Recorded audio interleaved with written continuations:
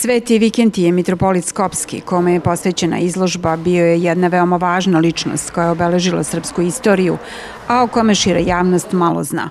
Poreklom je iz Kraljevačkog kraja, iz Ušća, gde i danas žive njegovi potomci. Sveti Vikend je zapravo rođen kao Vasilije Krđić. On je rođen ovde kod nas u selu Ušće 1853. godine, gde je učio školu u Studenici, zamonašio se i onda iza toga kreće taj neki njegov duhovni put e, svuda kuda je se nalazio srpski narod, a nažalost je tragično stradao, odnosno bio pogubljen 1915. godine od strane bugarskih okupatora.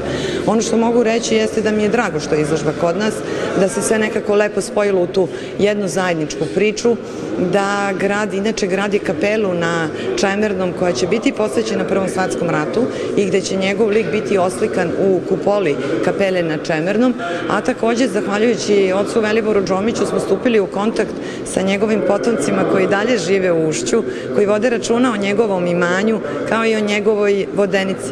Tako da, eto, drago mi je što je izložba danas kod nas u Kraljevu i što se jedna ovakva ličnost vratila kod nas u svoj zavičaj nakon 170 godina da nas podsjeti na ono što je važno.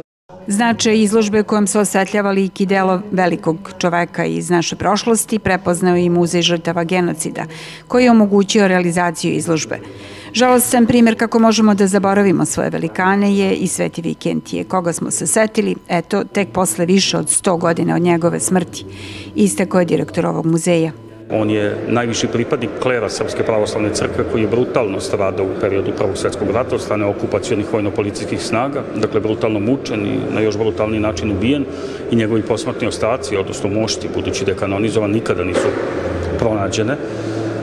I to govori na još jedan simboličan način o fenomenu stradanja pripadnika srpskog naroda u čitavom 20. veku, a posebno u svetskim ratovima. Iz toga je Muzej žrtava genocida posledstvom svoje fondacije, dakle fondacije Muzeja žrtava genocida, e, e, uočio motiv da podrži i da faktički omogući realizaciju ove izložbe. Ne bismo li se svi zajedno prisetili svetog Vikentija Mitropolita Skopskog kao još jednog u nizu velikana koje smo, ponavljam, na našu sramotu uspeli vrlo temeljno i vrlo brzo da zaboravimo. Nadam se da će ova izložba u stvari biti jedan mali doprinos tome da se pre svega u njegovom kraju ljudi ponovo podsete kog su velikana imali. Ono što treba naglasiti, ovo je prvi jedini svetitelj iz ovog kraja ikada.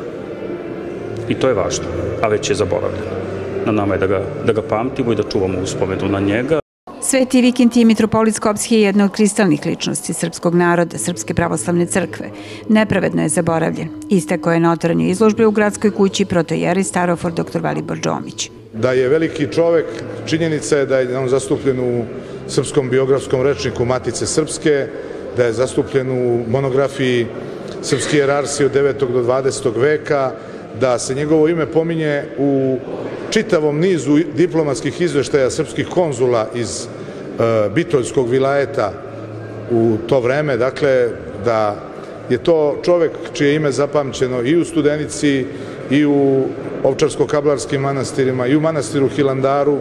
Svuda je nešto bio kratko, po pet, po deset godina, ali je svuda zaorao duboke brazde i ostavljao vrlo važne tragove najznačajnije na kraju jeste to što je 1905. izabran za mitropolita Skopskog Vaseljanske patrijaršije. Bio je treći Srbin po redu na tronu Skopskih mitropolita. Ubijen je od Bugara 915. sa njegovim džakonom Cvetkom Nešićem. Raskomadani su ispaljeni. On danas nema ni groba ni mramora, ali evo ima ikonu jer je odlukom Svetog arhijerskog sabora Srpske pravoslavne crkve iz 2017. godine pribrojan liku svetih i on je slavi se 29. maja svake godine u e, Srpskoj pravoslavnoj crkvi i u drugim pomesnim crkvama. Da se osvetli lik i delo Svetog Vikintija Mitropolita Skopskog, zasluženi muzej iz Vranja, koji je i priredio izložbu dokumenta istorijskih izvora vezanih za ovog velikana, koju mogu pogledati i sugrađani u gradskoj kući u naredne dve nedelje.